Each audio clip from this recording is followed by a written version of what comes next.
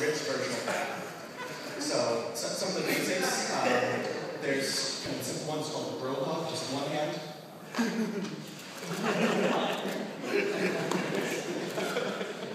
Another common of conferences is the handshake hug. yeah, that, that one's a challenge, but it's very common in conferences, I find, especially Drupal cons.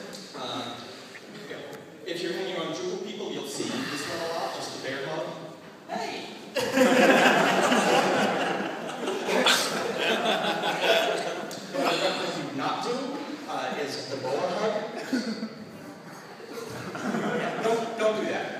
That, that may raise oxytocin levels, but also raises antagonism, so but I, I apologize.